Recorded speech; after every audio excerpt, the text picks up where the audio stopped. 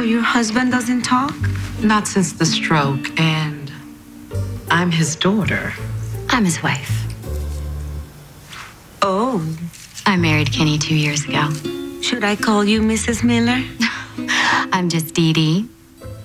But you can call her Miss Miller. She's never been married and she's 40. Call me Lucinda. And you can also call her Ambrosia. That was your name at the strip club, wasn't it? Ambrosia? So, Rosie, this is your little boy. Does he speak English? Almost. He's learning new words every day. Do you have kids? Maybe once Ken gets better, but there's no rush. I've got time. I hope. I'll be right back, Mr. Kenneth.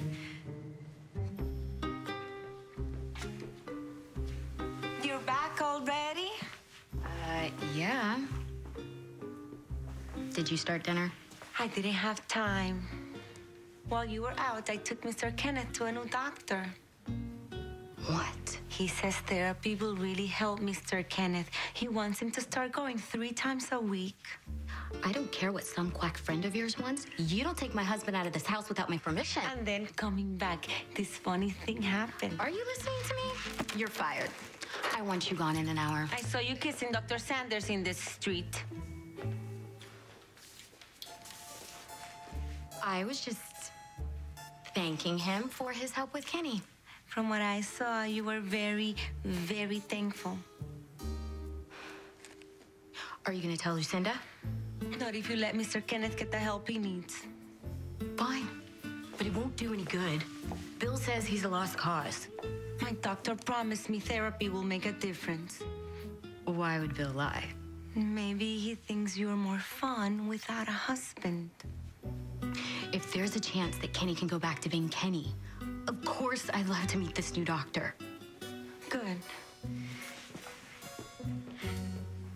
Just try not to kiss this one. Let me get her. it's Dr. Sanders. Why would he be calling me? Thank you. This is Didi Miller. Well, I'm very sorry, doctor, but my husband is doing better and we no longer require your services. Why is he calling you? It's nothing. Gotta run. See y'all later. You said you stopped seeing him. We'll talk about it later, Rosie. We sure will. Taking him. I need to call you back. You have five seconds to tell me where my uncle is. I mean it, Rosie. If you don't tell me, I will call the cops. Good. Since we were going to call them anyway. Uncle Ken, I've, I've been so worried. You can relax now. We've been taking good care of him.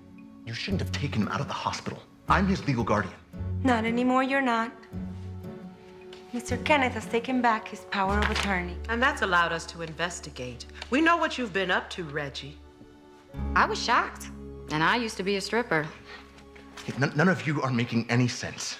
We have proof, Reggie, which we got off the files on your computer. My computer hasn't left this house. And that gave me a lot of time to go through it, so thank you. Esperanza is actually a. What is the English word? Forensic accountant. And she's been going over the mess you made of Kenny's estate. So we know you've been stealing from Daddy hand over fist. That's a lie. Mr. Miller, I have statements from all your accounts, even the ones in the Cayman Islands. I told you she was good at her job.